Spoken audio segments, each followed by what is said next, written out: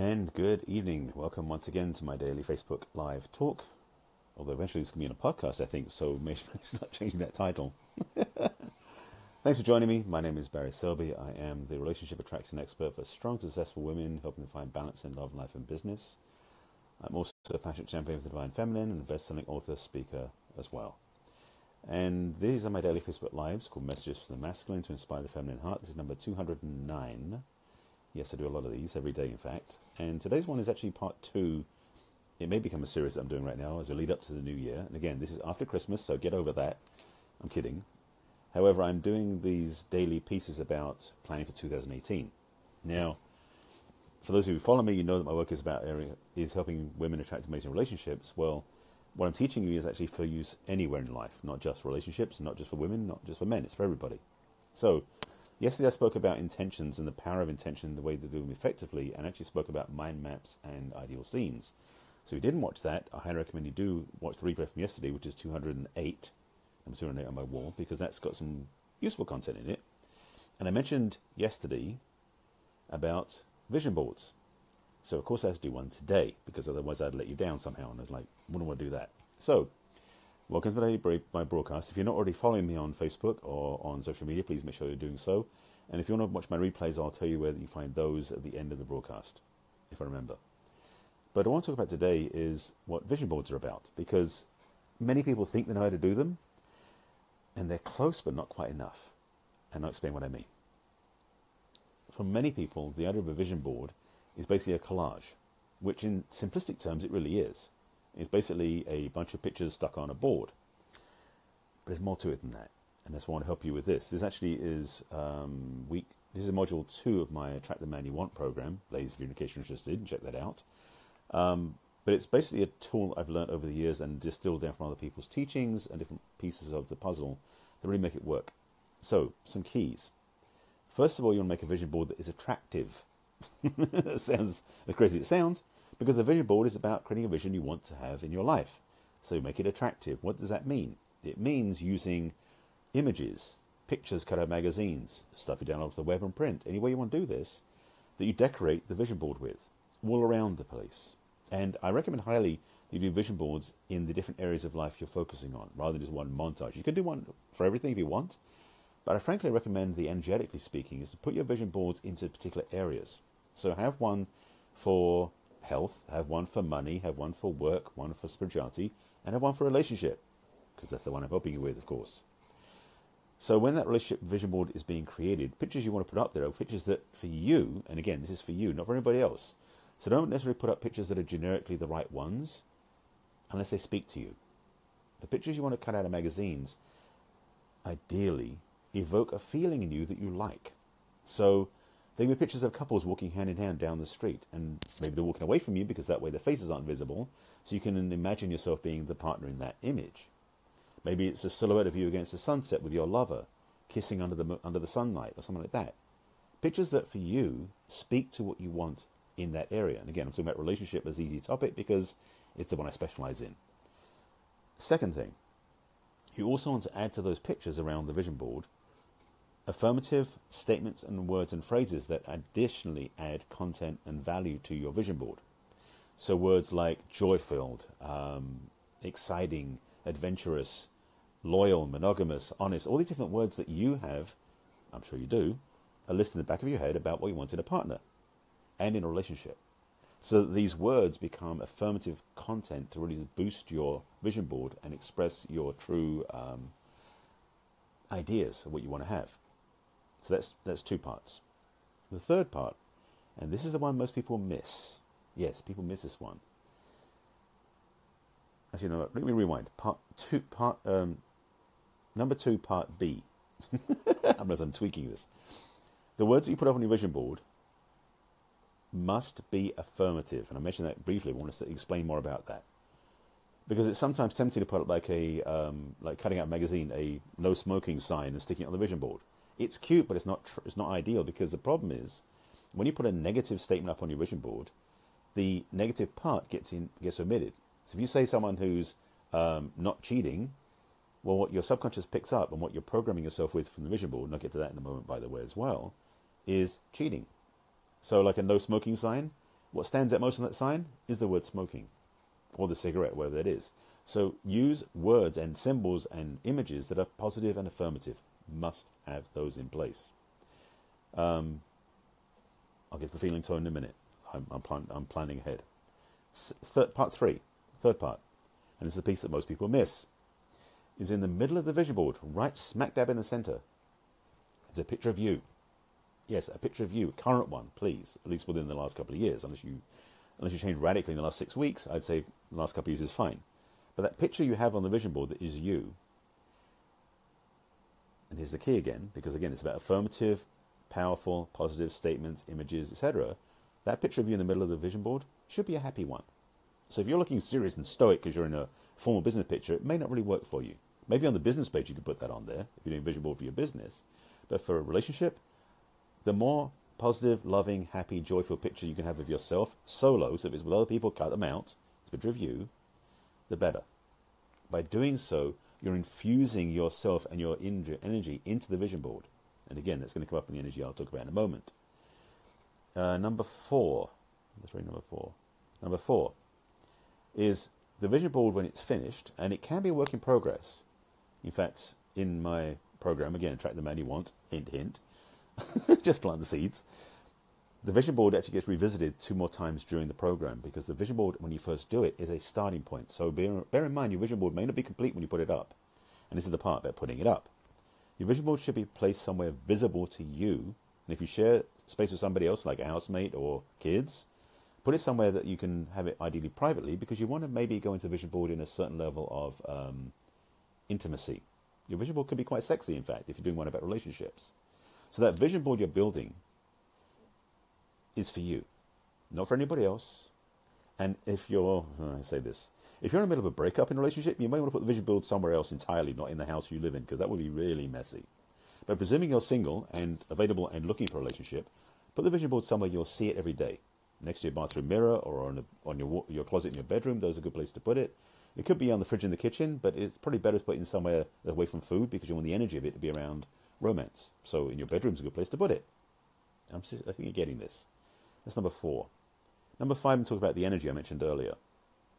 The reason why your vision board has to include positive words and statements, positive images, and a happy picture of you on it, those three things, the first three steps, is because those images and words are creating something in you. Yes, it's not static. The vision board is not just a picture on a wall. Oh, no, no, no. A vision board is your doorway to what you really want. Sit with that one for a moment. Your vision board is a doorway that you can create a entryway to where you want to go. So, for example, in the case of relationship, if you're looking to attract an amazing partner relationship, ladies particularly, because ladies, your focus and your skills is in attracting. We men, it's more about the pursuing and the hunting energy. But if you're looking, actually, let me break this down for a second, just on that moment, on that thought. Ladies, your vision board should be something that you want to attract. Gents, if you're watching this, your vision board should be something you want to go after. So imagine you're mapping out your, it sounds crude to say it this way, your target. So put a vision board up with something that you want to go after and, and pursue energetically. Ladies, you want to create a vision board that you want to pull in and bring into your life. That's a key difference for you to understand, by the way, for men and women. So that's a whole other conversation for another time, although I may have done it before. I know I have talked about it before. After 209 broadcasts, I know I've done it before. so, back on this topic. So, the vision board. It may be incomplete when you put it up. When so you put it up in the place that is visible and attract, easy for you to see. Make sure it's well lit. I mean, it sounds so crazy. Some people say some people put it back on the on the inside of their closet door, so they just know it's there, but they can't see it. It's like put it somewhere visible and make it make sure it's lit up so you can see it. That vision board, it may actually create results very quickly, or it may take a few months. Be willing to be patient. And again, as I said, the vision board may not be complete when you put it up. That's okay.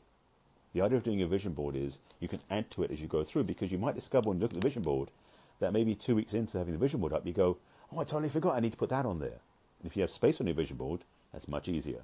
Now, you may come to a point where some of the things on the vision board come down because you go, you know, I don't really want that. That was an idea at the beginning, but it's not true for me. So having adhesive that's removable is also a nice idea. Oh, by the way, that's tools. Let me put that's that's number five, five or six. Tools. To create a vision board, you want ideally to have something like a um, not foam board, wasn't the one I'm looking for, like cardstock, like a big cardstock. Ideally, two foot by three foot or bigger if you want, depending on the space for it, of course. But the more room you have to play, the more fun you can have. So with that, you also want to have um, a decent pair of scissors. Sounds silly.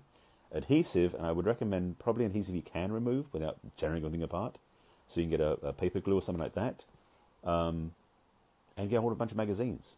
If you, you can find places you can get them from, it's great. And again, you can use the web if you find images on the web you want to download and print. If you have an inkjet printer, you can do that. But do the work to make this work for you. This is a powerful tool, and adding this to what I said yesterday, which is about um, the power of the intention and creating a, an ideal scene, a, a, a special version of, of Mind Map, which if you go back and watch yesterday's broadcast, you can see the review of that one. That was 208. This is 209.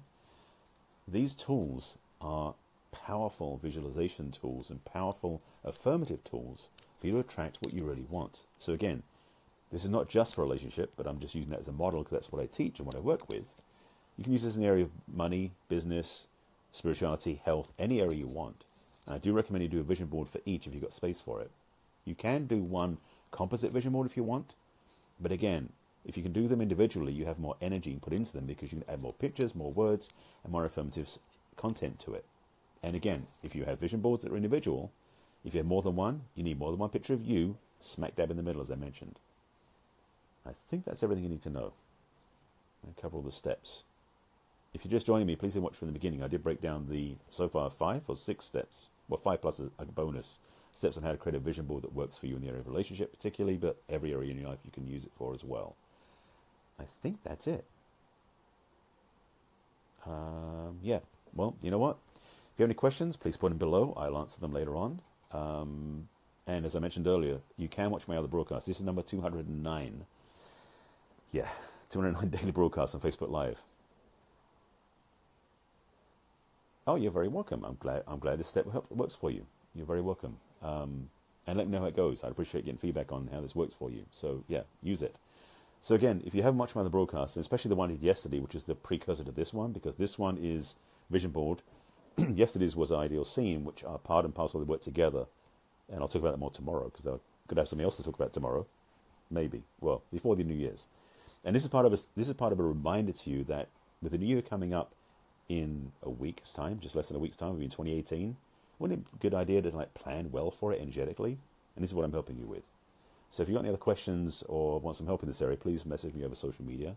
If you have any thoughts or ideas or questions about what I said in this broadcast, please put them below in the um, uh, comments below the broadcast. And oh, and my replays. If you haven't watched my broadcast before, I do these every day. This is number 209.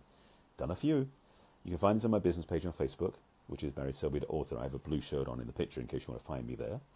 I also have them on my YouTube channel, which is Barry Selby, and then they get posted onto my website, which is barryselby.com. You notice the theme of naming here? Yeah, my website is barryselby.com, and if you go on there, you'll see a, a link, sorry, a navigation choice, which in the menu, which it's a menu item, that's what I'm thinking of, called uh, video blog, and you can see them all there. But this is part of a, apparently a new series I just decided to do yesterday. I didn't know I was doing it on ideas and tips to prepare for 2018. If you want help in this area, reach out to me. Again, if you have any questions about this particular topic or have ideas, feedback, thoughts, experiences, please put them in the comments below. And uh, thanks for joining me. This is my this is my regular talks, usually about love and relationships, but this one, I figured since it's the end of the year and Christmas is over. okay, let me do a little rant. I just I've got to do this. It's been bugging me for a while. about Christmas. For those of you who celebrate Christmas in the United States, uh, Christmas Day was Monday and you're now done with it. Now the sales are happening, everybody's over it. Well, where I come from, in case you're wondering, it's not America, it's England. We actually do what's called Twelfth Night. So we have Christmas Day and Boxing Day. Boxing Day would have been yesterday. But we also leave the tree up and the decorations up till Twelfth Night, which is January 5th. If your tree is already out by the curb, shame on you. This is the thing about luck and about um, superstition, I know. But for me, the decorations of Christmas should last at least, well, not least, they should last at least till the new year, and ideally to January 5th, which is 12th night. And by the way, 12 days of Christmas starts on Christmas Day, not 12 days before. So, depending on the traditions, it could be different, by the way. Um, you just took your tree down today. well, just just bless it on its way out, is all I say to that. yes. So my, my invitation to you, if you haven't taken down your tree just yet, is leave it up till January 5th. Keep watering it, keep it going. If it's an artificial one, so be it. But I watch all these trees by the curb on the day after Christmas, and it saddens me because it's like you've you put up a tree, and this is oh, this is another. It's a PS to the rent. Um, do yourself a favour, get a living one, not a cut one. I know that you can you can get them now, and you have a living one. You can put it out in your backyard, or you can sell it, or give it to somebody else, and it keeps growing.